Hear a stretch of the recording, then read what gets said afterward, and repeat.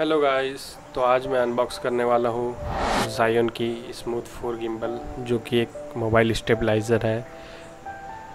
तो चलिए शुरू करते हैं। ये है जायन की बॉक्स और इस बॉक्स में आता है स्मूथ फोर और स्मूथ फोर में फोकस पुल और जूम कर सकते हैं आप। फ़ोन गो मोड है। और एक्चुअली ये एक मोबाइल गिम्बल है। तो मोबाइल फ़िल्म मेकिंग के लिए बहुत ही अच्छी इक्विपमेंट है। अगर आप लेना चाहते हो तो आप अमेज़ोन से ले सकते हो। अमेज़ोन में एक्चुअली थोड़ी महँगी मिलेगी ये। तो मैंने इसे अली एक्सप्रेस से ख़रीदा है प्री ऑर्डर किया था और अब ये सिप हो गई है। तो देखते हैं इसके बॉक्स कंटेंट में। ये है मैनुअल जो कि आप देख सकते हैं। और अगर आप बिगनर्स हो तो मैनुअल प्लीज़ एक बार ज़रूर से ज़रूर पढ़ लें।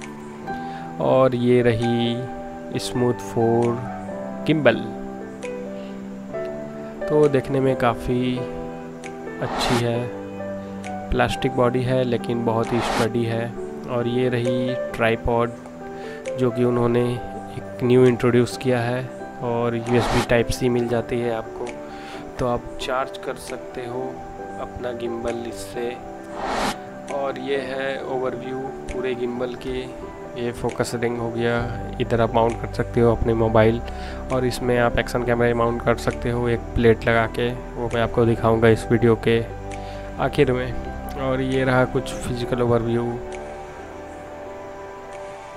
गिम्बल का स्मूथ फोर लोगो बहुत ही शाइनिंग अच्छी मटेरियल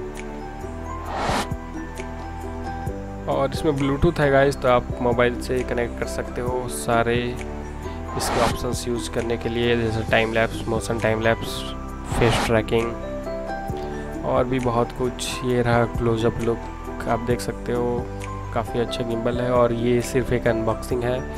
मैं आने वाले टाइम में और भी वीडियो बनाऊँगा और टेस्ट फुटेज भी डालूँगा नेक्स्ट वीडियो में। इसे मैं शॉर्ट रखना चाहता था तो इसमें सिर्फ़ अनबॉक्सिंग और फ़र्स्ट लुक है।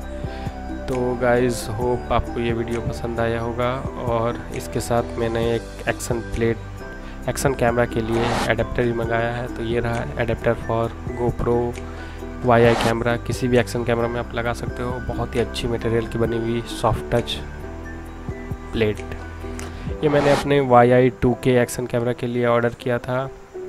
तो ये काफ़ी अच्छा यूज़ हो रहा है। आज मैंने ये शूट भी किया है। वो मैं नेक्स्ट वीडियो में डालूँगा। So thank you guys